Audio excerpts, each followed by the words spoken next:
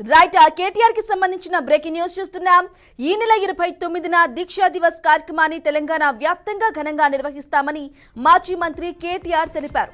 November ఇరవై తొమ్మిది రెండు వేల తొమ్మిదిన కేసీఆర్ చేపట్టిన నిరాహార దీక్ష తెలంగాణ ఉద్యమాన్ని మలుపు తిప్పిన రోజుని మలదశ తెలంగాణ ఉద్యమంలో నిమ్స్ హాస్పిటల్ పాత్ర కూడా ఎంతో ఘనమైనదని కేటీఆర్ చెప్పారు.